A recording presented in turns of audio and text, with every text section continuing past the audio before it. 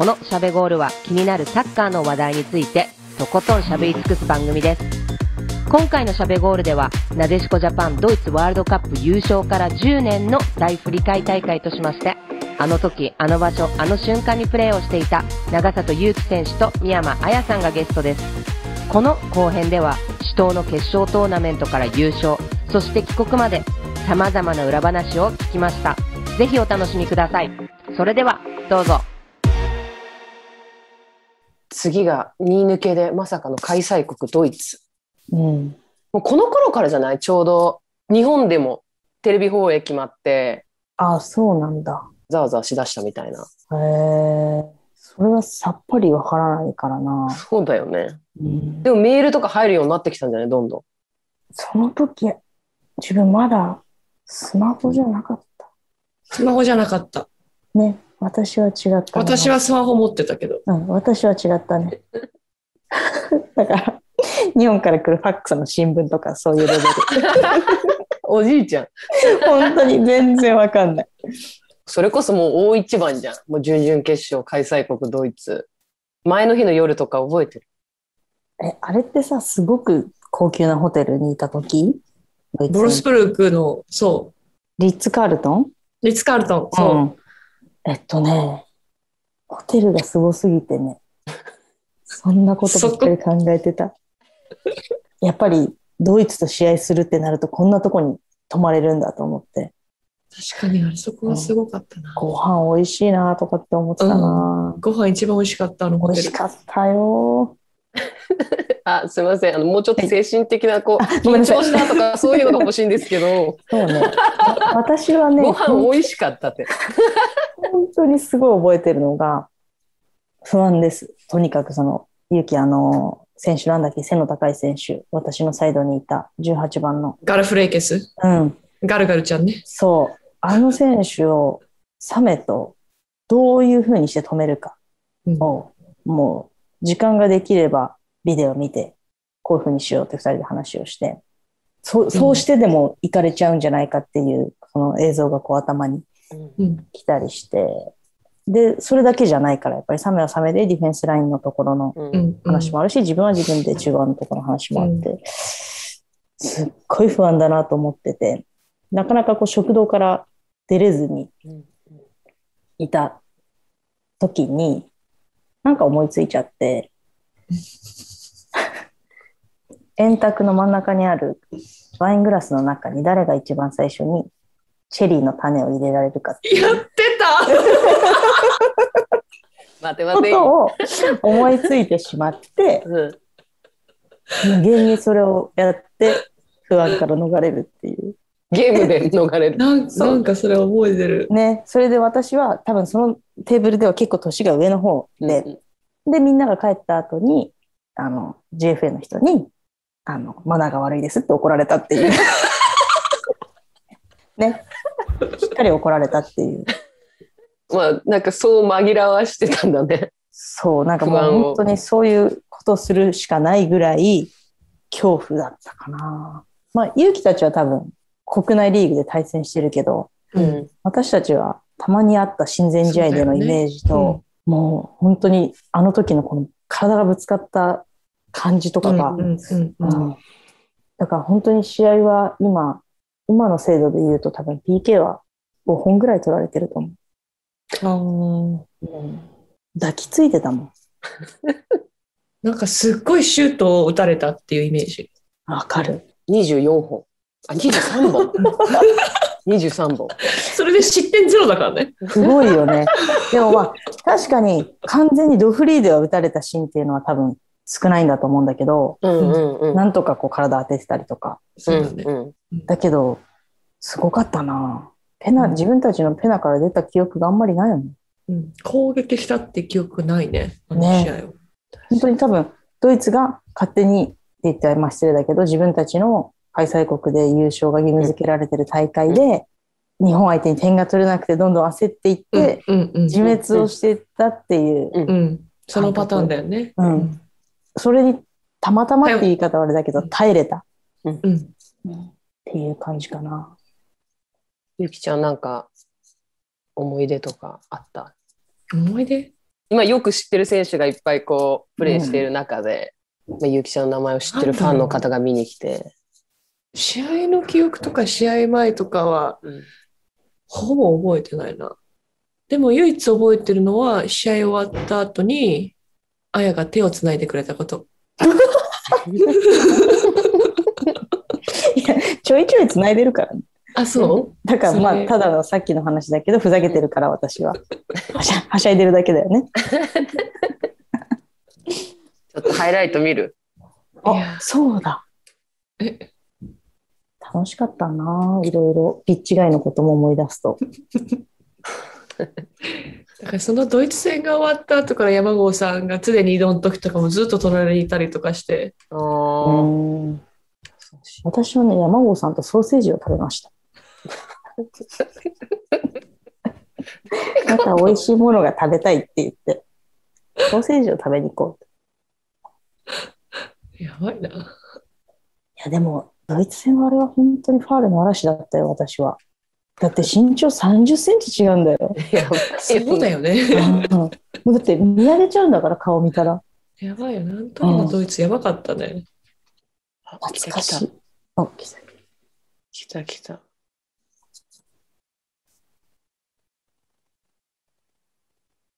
いつぶり？ハイライトは見る？見ないな。見ないね。あ、この18番？そうそうそう。これ大きくしできます？画面。うわ、すごい。こんなに人いたの？多分ね、4万、あ、違う、3万7千か満、満員でしょ。な。うん。あ、そう。うわ、やだ、今鳥肌立っちゃった。相手の顔見て。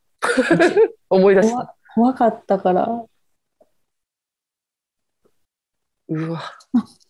それはもう入ってるよ。すごくない？このクリアとか。それはもう入ってるよね。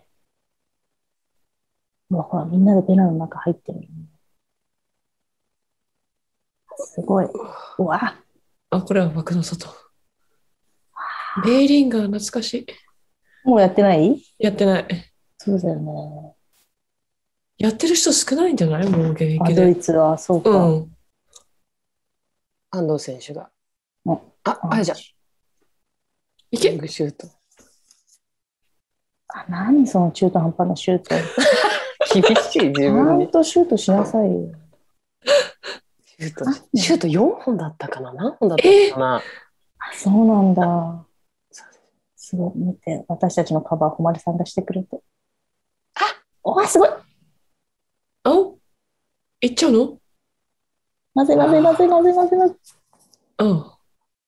あんなとこえぐられてさ、決められないっていうのがさ、もう奇跡。うん。あもうドドイツはもう本当半端じゃない、うん、プレッシャーだよ左ね。右からもう放り込んでたもんね。うん。逆にそれにさ、慣れてきたところもあったよね。跳ね返すの。もう確かまあサイド攻撃はもうね、そうだと思ってたから。確かにね、もうそれしかなかったもんうね。ん、あ、来た。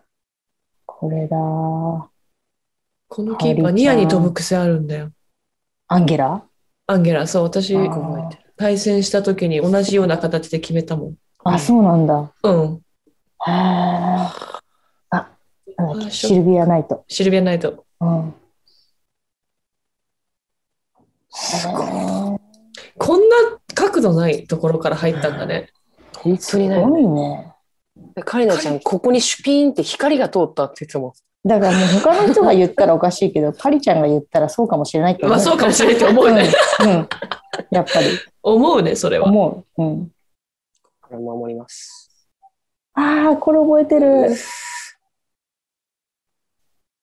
こあの試合何度回を叩いたか私はありがとうっていう気持ちで強めに叩いた。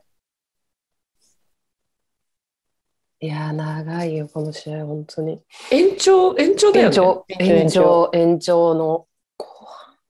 やだ、もうドイツの選手たちの顔を見ると泣けてきちゃう。わかる、わかるよ。それ本当そうだよね。辛いよ。うんサッカーって辛い。すごい。すごいわ。うんいや、本当にさ、あの、見てても、みんながこう、体張って、こう、高さでは負けちゃうかもしれないけど、絶対体当てる。絶対ついていくみたいな徹底したなんか、守りがうん。あったよね。うんうん。それで怪我しないっていうのもまたすごいよね。してたね、きっとみんなみんね。なちょくちょくしてたと思うよ。うん細かいはしてた。あの、なんかいろんなもの巻いてたと思う、みんな体中に。ほ本当は。本当はね巻いてた。し、うん巻いてたし、塗りたぐってたと思うん、あの、わわかんなくなるやつをね、う。そう。スースーするやつ塗ってね。そうそうそうそう。うんやってたね。やってたよ、みんうな。ん。すごいね。もう本当に死闘みたいな試合をこう、ね、ほぼほぼ出てた二人だし、体がこの頃、もう本当悲鳴上げてたみたいなタイミングじゃなかった。まあ感じなかったかもな。感じなかったね。うん。全然やっぱ。り、それは優勝するしかないっていうところで、うん。うん自分の体がどうとかっていうところに、あんまフォーカスしてなかっうた。ん、持ってってなかったかも、うん。感覚を。すごいな。それで次がもう前回その北京で乗り越えられなかったトップ4の壁なんだけど、この時の緊張とかはそんなにドイツ戦に比べたりななかったのか、それとももう絶対勝ってやるみたいな。どんな感じだったの？もうドイツ戦終わったらもうだ、フォーだったじゃん。うん。いや、もう 本当そうだね。ね勢い。うん。そうね。チームの雰囲気がガラッて変わった気がする。ドイツ戦の。うん。うん。へえ。なんか重たい空気がなくなった。まあ、感じはした勇気がそう言うならそうだろうな。なんか重たいものがずっとあったんだけど、なんか少しずつ余裕っていう表現がなんか合ってんのかわかんないんだけど、なんか変わったへえ。スウェーデンだよね。スウェーデン。の前ね、の前ね。うん。だからドイツ戦勝って、うん。移動したっけ？移動した。電車で移動した。あれか。そう。はあ。そうかも。うん。なんか笑顔が増えたおー気そうだね。がする。ううんん。何を思い出したの？あやち全然思い出せないの。Oh no! スウェーデン戦の前が全然思い出せない。それは私も思い出せない。とにかく、すごく練習場に海外の記者さんが増えた。あそれはあったね。セットプレーのうん。練習がやりにくくなったあー。っていうのをすごい覚えてる。なんかやっぱり、あの、某監督はスイッチが入ると、うんうん。急にやるなっていうことがあるので、うっ某かり監督。うっかり自分がそのうん、いつも通りのことやると、やばい今やるなっていう ことがあったな。へーうんあの時代だってさ、誰でも自由に練習見放題みたいな感じだったそうそうそう、うんそんなに非公開とかっていうのがね、ねなかったから。なんか、プレスカンファレンスとか結構こういうサッカーしますみたいなのポロポロ言ってなかった？それはもうずっと言ってる監督は。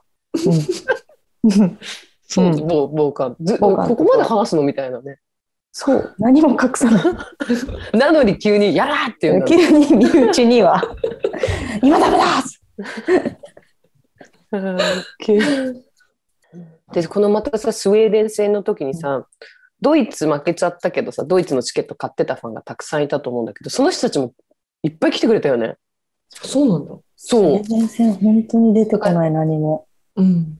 何が起きたの？スウェーデン戦。じゃあハイライト見よっか、とりあえず。あります？あります。ありがたい。お願いします。お願いします。えスウェーデン戦こそ、なんか、でも確かに調子がいいっていうのがすごくよくわかる試合だったかもしれない。めっちゃ。スウェーデン戦か。うーん。あ、下のパンツが白だ。うん。ええ全然記憶戻ってこないや。え、場所どこ？場所。場所どこだったかな？ちょっと私、基本ホテルで覚えてるから。いや、フランクフルトは。あフランク？え？フランクフルトどこだフランクフルトだ、準決も。一緒。一緒だ。うーんと、え、急にピンチ？これはさ、失点するのよ。あ、そうなの？うん。あ、本当だ。うん。これは覚えてるの。この人は。ブルーの瞳のこの人のことを覚えてるよ。そうなんだよね。急に裏で抜けられて、え？みたいな。あったね。結構早い時間帯？これ。確か早かったよ。数分じゃない？これはねうん、うーん、いいシュート。綺麗だよね。10分、開始10分。やっぱり。早かった。うん。でもこれはね、優しいパスですよ、しのぶそうだね、フランクフルトだね。よし。ナイス。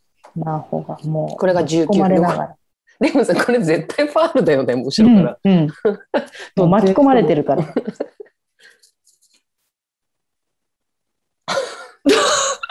ナホ面白いな。ナホやってくれるんだよな、こういうこと。よいしょ。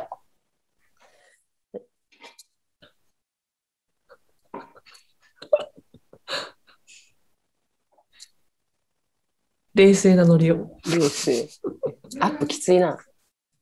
ダメダメ。これ、ダメだったやつだ。嘘うん。うん。ほんと、ひどい。本当ひどいじゃない。あやちゃんの失敗、こういうの、なんだ、なんでさっきあやちゃんのこういうシーン見せてくんだろうね、FIFA。いや、ほんとやだ。しっかり決めろ。え来た来た。これは、川澄選手の、おお、大野選手。こんな、こんなシュート打ってたんだ。しのぶね。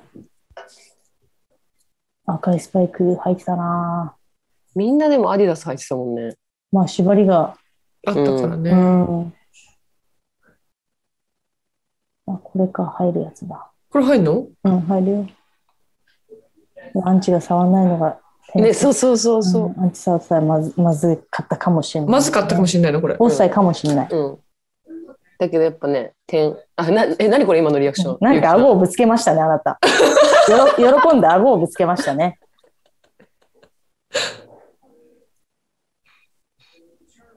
ほら、アンチ。ああ、本当だ。分かってんねね、アンチも。すごいよ。うん。カリちゃんだったら触ってたかもしれうん、多分ねねじ込んでたと思う。ああ、なるほどだね。結構立て続けに入ったんだよね、これね。確かそうだった気がする。ねうん。なんか決勝行きを決めた1点みたいな感じ。もう一点入るっけ？いや、3、3じゃない？3だな。うん。そう、60分、64分だね。うん。そうだね。あ、こんなだったんだ。ええあ、トニー。あ、これ覚えてる。これとすっごい足が速い人だよね。うん。ポツダムで一緒だった。ああ、そうだ、そうだ。うん。決勝決定しました。あ、だからもうダメ。サッカーで負けたチーム見るとそう、負けたチームいるると辛くなるね。うん。もう、もう、辛い。みんな嬉しそう。そう。ててててへえ。あら、記憶が。本当になんか、もう本当に調子が良すぎて、そんなになんか心配とか、なんか何かとかがなかったから逆に覚えてないっていうところもあるのかな。どうなんだろう。いや、なんか多分でもこの試合も、スウェーデンからしたら、あのドイツに勝ったチームみたいな、若干向こうが構えてくれるっていうか、うんうんそういうとこがあった気がするな。なんかその後も結構そういう試合があったっていうか、チャンピオンだから、向こうが、向こうの良さを出す前に日本の良さを消しにこう来るっていう戦いが多くなったから、最初のうちはやりやすかったね。確かに。だからそれを一切しないアメリカってことだよね。そうだよ。だね。そうだね。うん。でも本当に10年前の決勝の日がやってくるんだけど、ちょうど準決勝とさ、決勝の間にさ、日本食食べに行ったよね。いった。誰の誕生日だ？アンチ。と、私。ね。やったね。そう、めちゃくちゃ気まずかった。うん。あなたのね。あなたの誕生日をね。うん。気まずいって何よ。ね。いろいろとね。いろいろと気まずい誕生日だった。どういう顔したらいいか分かんなかったよね、わからなかった。うんそあの時は。で、勇気がどういう顔したらいいか分かんない顔だから、私もどういう顔したらいいか分かんなかっう。みんなどういう顔してるか分た。かっ分かってなかっみんなどう 本当だよね。だからなんか楽しいも辛いも多分本当みんな一緒。た。そ誰か一人がそうだったら辛いし、う。うん。誰かいいことあったら嬉しいし。うん。うんうん。そうだったね。は覚えてる。言ったね。うん。私はね、あの時に思った。なんでそんな決勝行くからって、そういうご飯連れてってくれるんですかって思った。確かにね。うん。なんかその、ご褒美みたいなうん。うん。偉い方がいっぱい来て、うん。うんうん。最初からやってよって思本った。当やで。うん。本当に。それは思ったのよ。うんでも次のワールドカップでやっぱ最初から日本食出してくれるようになったじゃん。そうだったっけ？領事館の人とかが結構持ってきてくれなかった？日本食。しかも領事館にも行きましたね。うん。前、その決勝行かなくても行ってたじゃん。ツアーになりました。手のひら返し。急に、ツアーになりました。急に来た。そうだね。うん。そんなことがあったんだね。だなぁ。なんか思い出してきたななんか、ある意味サッカー選手として、まあ、国を背負って、2011年のその震災もあり、うん思うとこがいっぱいあるところでこう目標にしてきた決勝戦うんっていうのは、どんな感覚になるんだかな？なんか信じられない思いの方が私は強かった。本当に私たちは決勝の舞台に立つのかって。そうね。うん。私は、自分の中で考えが二極化してたかも。こう、夜、一地に向かっていくバスの中から、うん。こうなんかスタジアムがブオーって見えた時は勇気みたいな感覚。うん。うん。え、自分があそこに立つのって、これがワールドカップの決勝なのっていう感覚と、うん。でも、小さい頃から重ねてきたサッカーの試合、一つの試合、どんな試合も一緒。うん。うん。勝つためにうんみんなとうん。ね、サッカーするっていう、普通のいつも通りの感情と両方あった気がする。うん。うんうん、楽しみだった。いや、私は基本もう恐怖との戦い、試合は。一度も自分たちが世界一強いなんて思ったことなかったから、もうそれよりは、あの、こういう時はこうして、こういう時はこうして、ここでこうなったらこうしようの、そうだよね。うん、頭の中はずっとそれ、うん。状況判断の選択肢をこう常に持つ。感情があまり入らないうん。うん。よね。うん。究極になってくると。うん。確かに。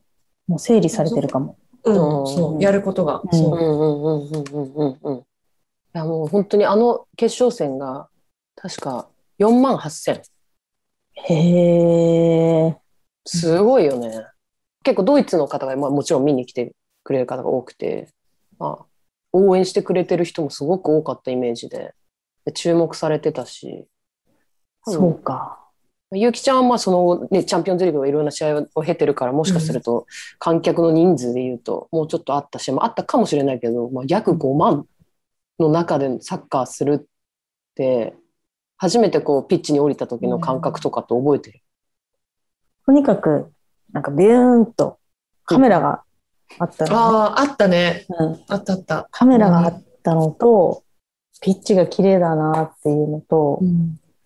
でもあんまり特別ではなかったかもしれない。うんそういう意味で言うと。私はさ、途中から入っうん。たからさ、うん。なんか最初から立つのとまた違う感覚だったとは思うんだけど、うん。なんかみんながキラキラして見えたの。へえ。うん。そのタッチライン際に立って待ってるじゃん。うん。その時間とかを、試合をこう見てると、なんか、そのスタジアムのそのエネルギーに感化されて、みんながこう、いつも以上の、なんなんていうの、うんエネルギーをこう発してる感じ？それはわかるかも。うん。っていうのは伝わってきたかな。うん。試合入る直前とかのロッカールームとかも覚えてる？なんかいつも通り本当何も変わらなかった気がするな。ね。とにかく自分の、自分たちのやることをやる。うん。それだけっていう感じだったよね。うん。本当余計なことは何もなかった気がする。こう試合の途中で、あ、これ決勝だとか、こう思い返すとか、そういうのも特になかった。集中しまくってた。試合に対して。うん、ないかな。うん。あったとしたらやっぱりアメリカ強いなぐらい。ううんうん。わ、やっぱこれはすごいなってう。いうん本音だよね、それが。う。うんんうん。まあでも、私も決勝実際行って、なんか負ける気がしなかったっていうか、なんか、うんこの、まあすごい客観的な話なんだけど、うんすごいこう立ち上がりとかもいきなりこう攻められて、うん。うわっっていうシーンがあったんだけど、なんか負けないんじゃないかみたいな謎の感覚があったのを覚えてるから、みんなもそうだったのかなって勝手にこう思ってたんだけど。結果のことはあんま気にしてなかったんじゃない？あああ、そうかもね。うん。まあ、あの大会が終わるまでは完全なるチャレンジャーだったから、ーうんそうだよね。もう本当に全てを出してぶつけて、受け止めてもらう側だったから、うんうんうんうん。そうだよね。そういう意味で言うと、変な気負いとかそういうのはなかったかもしれない。たね。うんうんうんうんすごいな。はあすごい。よかったな決勝すごいよ。もう、ほんと。見ちゃう？ハイライト。見ますか。お願いします。ち見える？見えます。大丈夫です。 Germany, two thousand eleven。ああ、最強だ、このアメリカは。もうこの入場でのヒャーがすごいよね、も何このこの人たち、オーラが違うよね。そう。でもこの人たちは本当に別物。あ、これだよ、この、この人が今の監督の奥さん。フューシー？一番先頭にいた人。クリスティ・ランポンね。うん。あ、そう。じゃあ2回目だ。そう、2回目。はあ。危ない危ない危ない危ない。おお。あ、シェイニチェイニーいるんだ。ー。ね。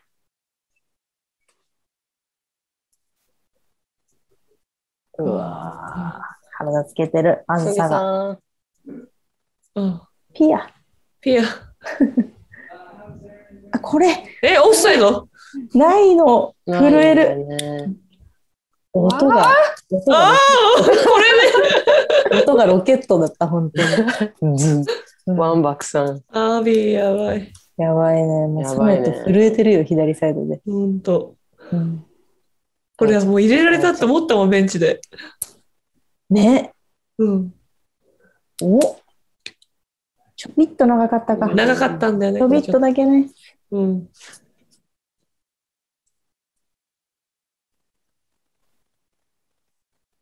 いいよ。あれこれ後半？後半だね。だね。今度。うおおおあナイス。うわぁわけわかんない。もうわけわかんない。わけわかんないこれを誉れちゃんがかうんクリアするっていうね。もうマーレさん。うわで、ロケットなんだよな。アビーって多分。ロケットうん、多分、ヒューマンじゃないんだよな。ロケットだすな。うん、ロケットなんだよな。このセーブはすごいよね。でも、さきちゃんもちゃんと体当ててるもんね。うん。ああ、すごゆきちゃん。い。いたいた。セブンティーンがいた。だって誰もサポートしてないからね。本当だよね。ゆうきならできるみたいな。もうさ、よろしくねみたいなさ。そうしたらこのざまだよね。うちらひどいよね。このざまだよ。うちらひどいよ、ほんと。うちらひどいよ。4人に囲まれてたからね。本当だよ。よろしみんな、くみたいな。みみんな追い越してっちゃった。うん。ゆうき頼むねみたいな。そしたらさ、ほんと自分たちで反省するよね。これはなぁ。68分。えー、ほんとええだって、今60 minutes って言ってた。ほんと。これ誰？右サイド。何本で私これが勇気。来たよ。よいしょ。あや、あやちゃん。アウトでね。なんかね。イエス。これでももしかすると本当にキーパーがホープじゃなかったら決めれてなかったかも。あなあるじゃん、なんかそういう。あ、あるね、あるあお互いのる。リズムの取り方の感覚とか。もうそれがやっぱ染みついてた。うん、私なんかこの人と向かい合うと、うん多分100%以上のものが出せる。ああ。わかる。そういうゴールキーパーいるよね。いるよね。いるいる延長入ります。もうださ、キックオフがさ、8時45分とかなの。なんかもう本当はお眠の時間だからね。お眠お眠の時間。お眠の時間なのよ。だから。これ音やばかったな、シュートの。ね。ズドゥフ。ドゥンと音聞こえたもん。ドゥンって音聞こえる。うん。これ好き疲れた感じあるよね。うん。足りてたのにね、人数が。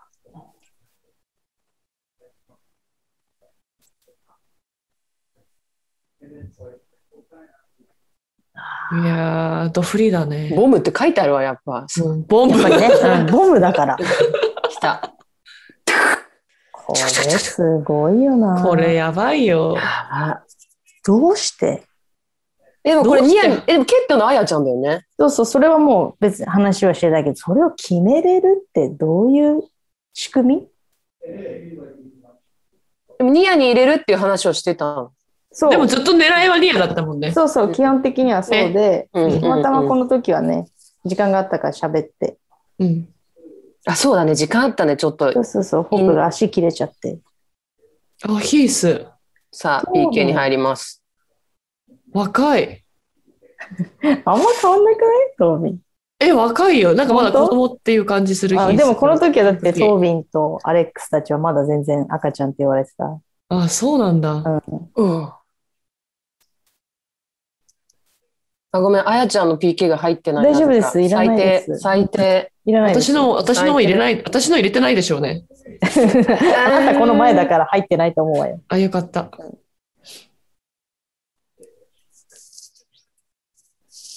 私はね、本当に。さっきね、よ。え、ヒースと誰外したんだっけ？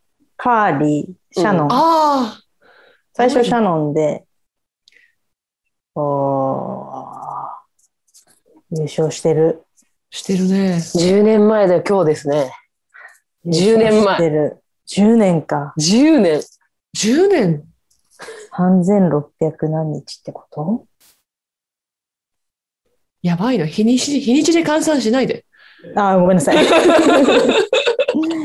もう見てよ、この喜び方のわからない私たち。本当踊ってたじゃん、あやちゃん金の吹雪見ちゃったりなんかして。すごちょっとわーからなすぎたよね。い。すごいです。うありがとうございます。どう ?10 年前の私たち。ね無邪気だったなあれこれ、私も止まってる？画面シェ止まってます。よかったよかった。すごいね。見てもなんかこう、実感がぐっと湧いたりとかはないあんまり。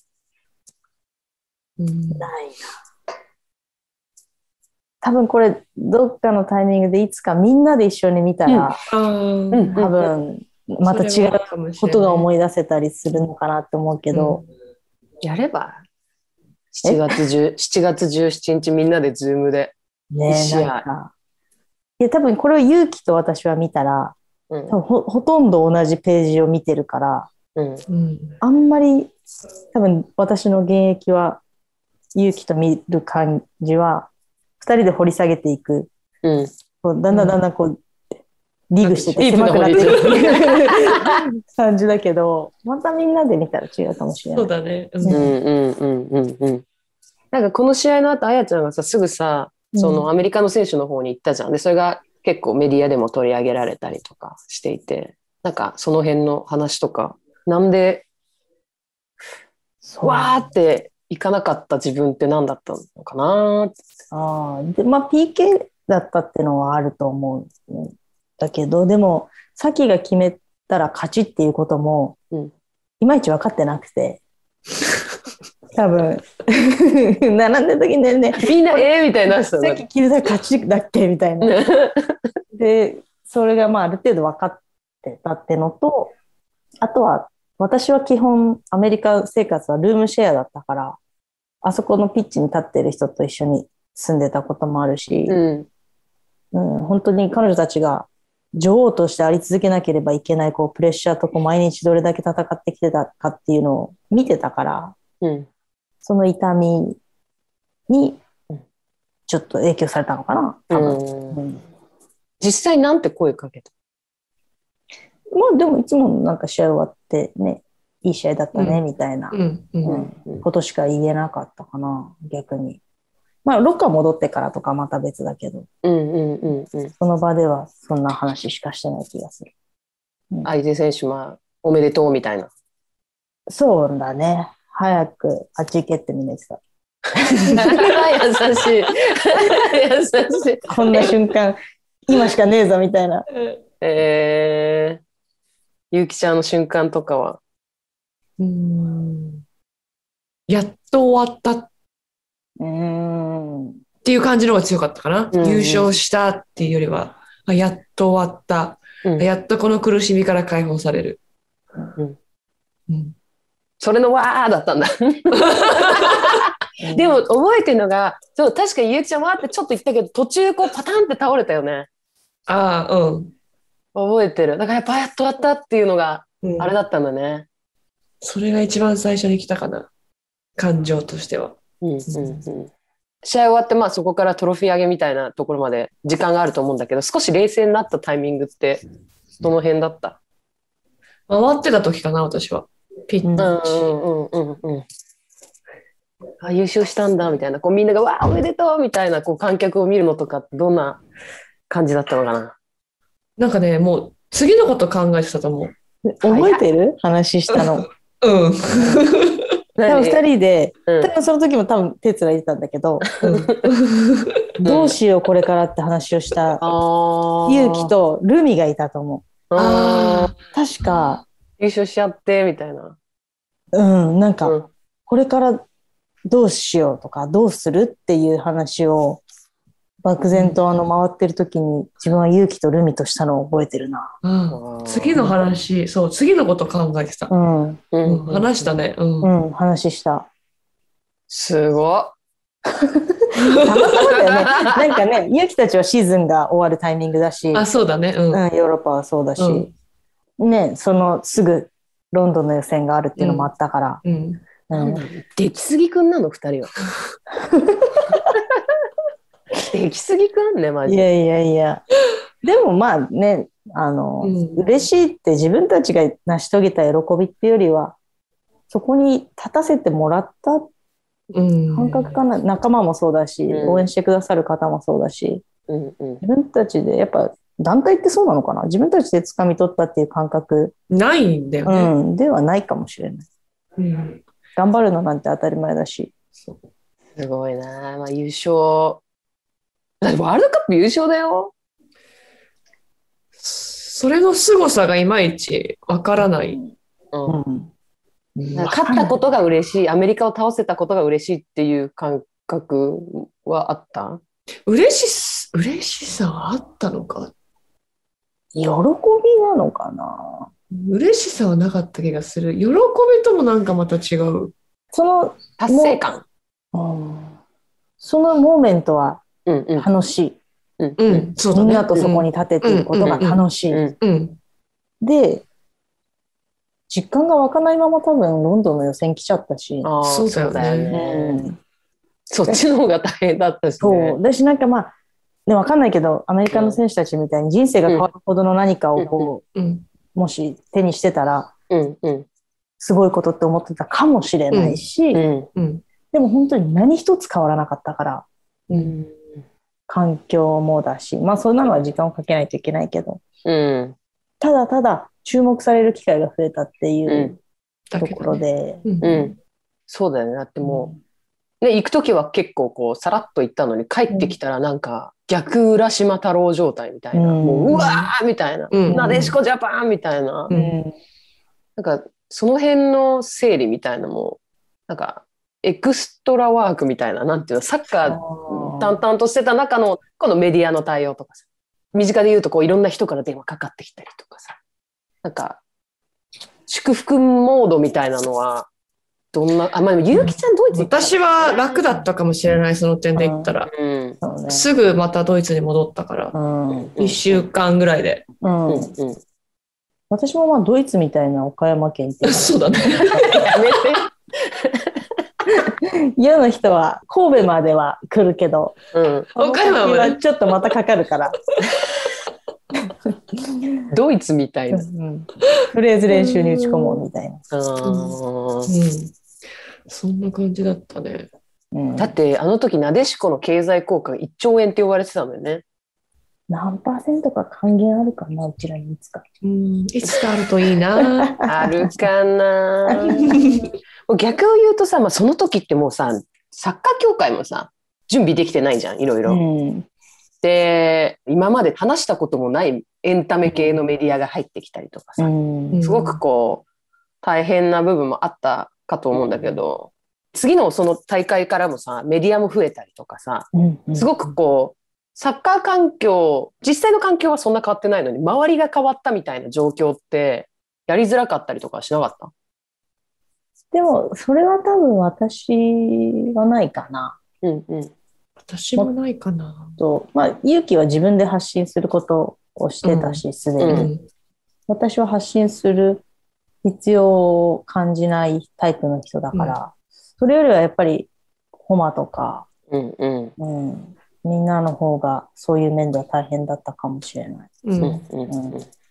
この優勝って、二人にとって、二人の人生にとって、なんかどんな意味をくれたと思ってるの？何？クスクスクスクスクスして。そうこね。の優勝まあ優勝ないし、この2011年メンバーと戦ってきた10年前のドイツワールドカップは、どんな意味をくれた？私は、あれだな。もう、思い出の中の宝物かな。うん。動かない、もう。それはもう、これ以上何か変わることがない。うん宝かな。でもまあ結構奥の方に大事にしまってあるかも。うん。うん。鍵かけてる。誰も触らせない。そうだね、やっぱり。鍵閉めてるね。どうなんだろう勇気はまだまだね、塗り替えていく立場にまだいるから。何を塗り替えるのよ。なんかプレッシャーくれないでみたいな顔したけど。だってね、それは、だってほら、うんやっぱりまだまだ、クリーツ履いてるから。本当に。クリーツ履いてるとはいえ、うん。私の人生だぞ。決めつけるな。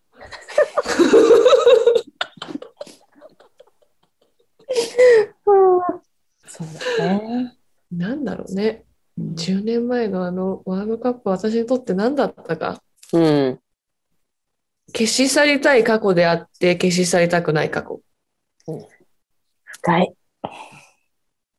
深消し去りたいような、そうなのね。消さないでね。うん。消さないで、取っておきたいって思ってる自分と消し去りたいっていうふうに思ってるうん。ところの狭間のものかな。今は、for now。うん。うん。またなんか月日が変わると、うん。変わるかもしれない。ろろうん。だかうんらまだ生きてるね。そのそう2011年の10年経っても、ああ、生きてるね。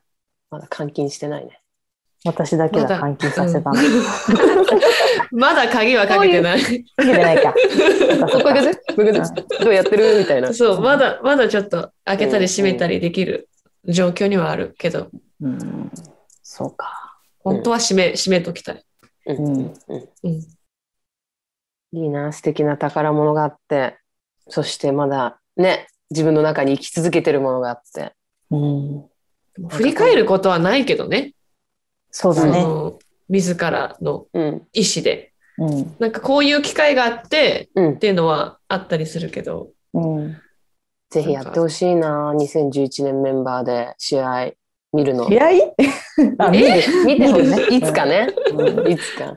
え塗り替えるの？を またやってほしいってこと？いや、なんかみんなでワイワイしてほしい。なんか集まっね、こんなね状況下だけどね、うん特別なメンバーだから、みんなの顔をね、10年後合わせて話したりとか、うん特別にしてほしいな。そうしておきたいけど、自分たちだけでなんかやるのも、うん。ねうん、難しいっていうか難、しいよね。ううんん、まだみんなそれぞれいろんな立場があるし。うん、そうだよね。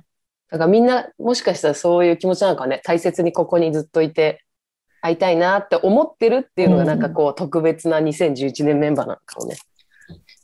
全員がサッカーやめてからにしよ確かに。うん面白い。う。うん。そうなると、結構まだかかりそうだね。かかる。結構かかるね、多か分。かるね。楽しみに頑張ろうかな。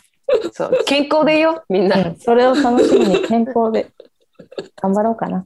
そうだね。じゃあ、次の10年後、もっとあるかかるかな？10でさ、年。ロンドン五輪バージョンもやろやろう、やろう、いいねやろう。うん。う。いいねロンゴリンやろう。来年10年か。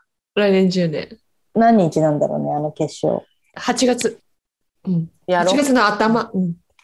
どうする？誰呼ぶ？もう可能な限り、可能な限り大呼ぼうか人数。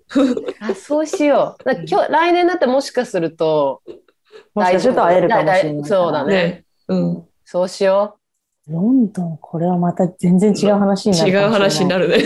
うんちょっとごめんなさい、今日は2011はちょっと重めの重めそうそうごめんなさい。うんう。いや、ごめんなさい。本当ごめんなさい。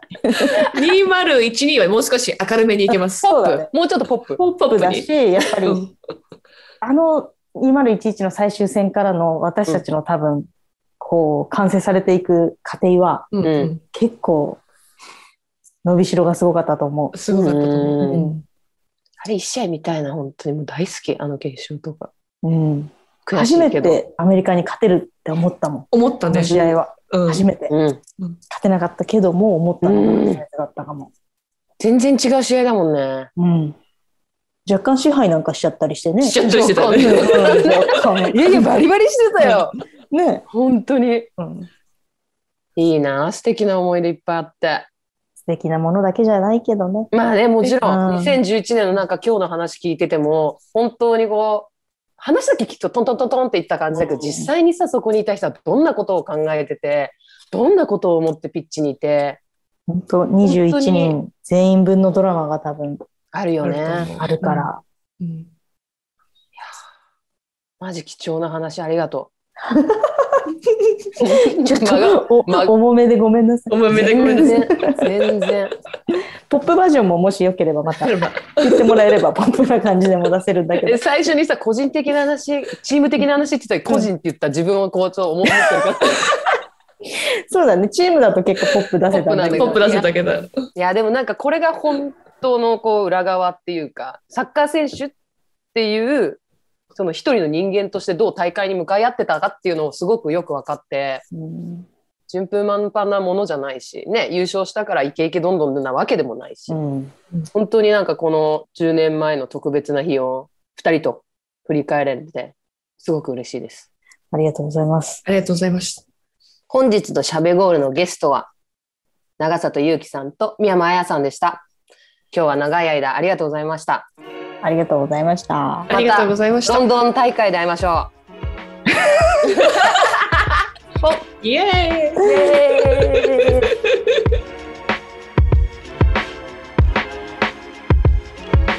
ゴールジャパンがお届けするしゃべゴールなでしこジャパン2011年優勝記念感動大振り会大会の後編はここまでで終わりとなります。たっぷり約2時間ですかね、宮山さんと長里さんと話させていただいたんですが、なんかもう次元がすごすぎてサッカーを捉えるっていうその感覚っていうんですかね、なんか私たちがまあ私がかな？私が思ってるそのサッカーの深さみたいなところがそのファンの深さであって何に興味があるかみたいなところまでなんですけどやっぱりプレイヤーになるとどういうふうにこうサッカーと向き合うかとかこのチームとどういう風に私はサッカーをしていくのか。なんかすごくこう、精神面で彼女たちないし、まあ、もしかすると男子の選手もサッカーを受け止めてプレーをしているんだなっていうのをすごくこう感じて、なんかもう、羨ましいというか、いやもう本当にサッカーもっとしっかり、あそこのレベルに行けるまでやってみたかったなっていうか、まあ、できなかったから多分やってないんでしょうけど、いや、本当になんか彼女たちが世界を取った理由みたいなのを分かった気がします。ここまでサッカーを捉える、もう次元がすごすぎて、深すぎて、もう羨ましいと感じました。